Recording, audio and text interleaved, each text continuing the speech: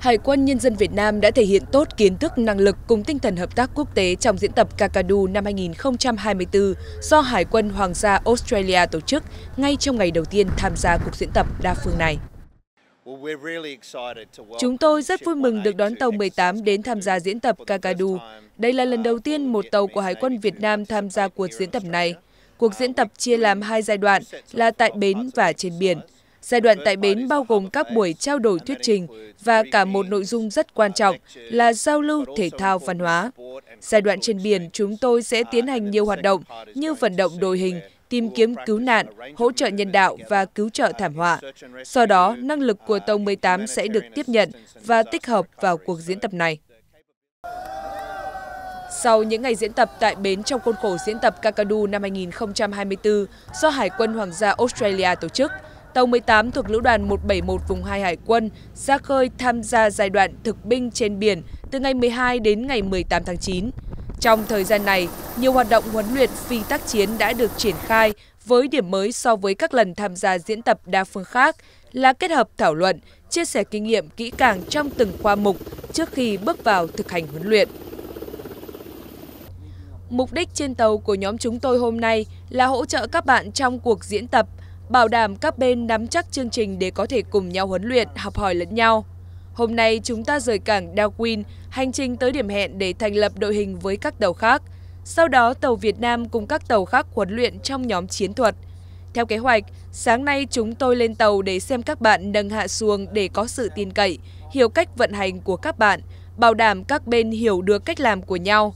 Sau đó, chúng ta cùng nhau trao đổi cách xử lý tình huống, cứu người rơi xuống biển. Chiều nay, chúng ta sẽ đi tới điểm hẹn gặp tàu của Pháp để thực hiện quy trình kiểm tra tàu lạ. Các bạn sẽ có một số vai trong quy trình này, đồng thời quan sát cách làm của họ.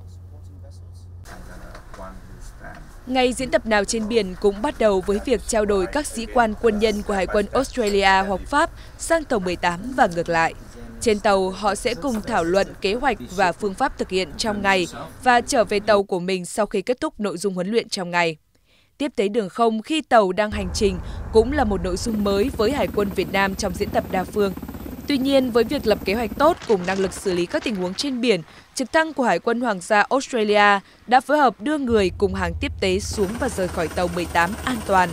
Những cái bắt tay thật chặt, những nụ cười thật tươi, những món quà mà hai bên trao đổi cho nhau trước khi kết thúc khoa mục là minh chứng cho kết quả diễn tập. Các khoa mục diễn tập phi tác chiến mà Tàu 18 tham gia được thực hiện đầy đủ bất kể thời tiết diễn biến bất thường trên biển. Tiếp tế, vận tải, cứu kéo trên biển là nội dung không xa lạ với Hải quân Việt Nam. Nhưng việc một tàu chiến của ta được một tàu chiến của nước ngoài tiếp tế, cứu kéo lại là một điều mới. Tàu 18 đã cùng tàu Auguste Benabic của Pháp thực hiện khoa mục này. Để bảo đảm thành công và an toàn, sĩ quan trên tàu 18 đã cùng sĩ quan hải quân của Pháp và Australia trao đổi hiệp đồng chặt chẽ để nắm được nội dung thông tin và cách thực hiện của nhau. Quá trình tiếp vận cứu kéo diễn ra an toàn và được thực hiện nhiều lần để thuần tục. Hình ảnh tàu 18 với lá cờ Tổ quốc tung bay cùng cờ của Australia di chuyển trong đội hình cùng tàu của các nước tham gia diễn tập khẳng định năng lực, khả năng của Hải quân Nhân dân Việt Nam trong các diễn tập đa phương.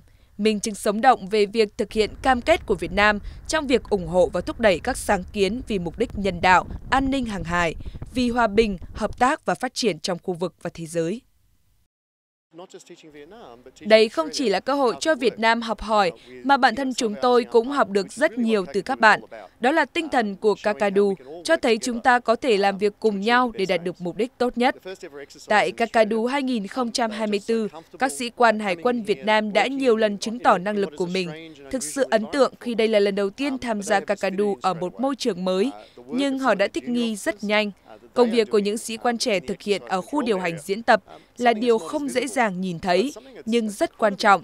Họ làm việc trong môi trường đa quốc gia, đại diện cho Việt Nam một cách ấn tượng và hoàn thành công việc hiệu quả, bảo đảm cho thành công của diễn tập không chỉ riêng cho Việt Nam, mà còn cho tất cả các quốc gia tham gia. Việt Nam chắc chắn rất tự hào khi có các thủy thủ tham gia diễn tập lần này ở những vị trí trên tàu và trên bến, chứng tỏ năng lực của mình nói riêng và năng lực của quân đội nhân dân Việt Nam nói chung. Các khoa mục huấn luyện trên biển thành công cũng đã khép lại những hoạt động chính tại diễn tập Kakadu năm 2024. Thành công đó có sự đóng góp của Hải quân Nhân dân Việt Nam, để lại ấn tượng tốt đẹp trong lòng nước chủ nhà Australia và bạn bè quốc tế.